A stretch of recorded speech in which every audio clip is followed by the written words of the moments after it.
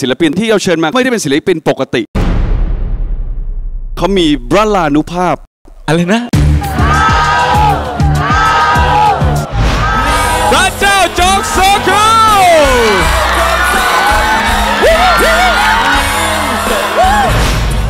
ถ้าเกิดวันนี้แพ้อะ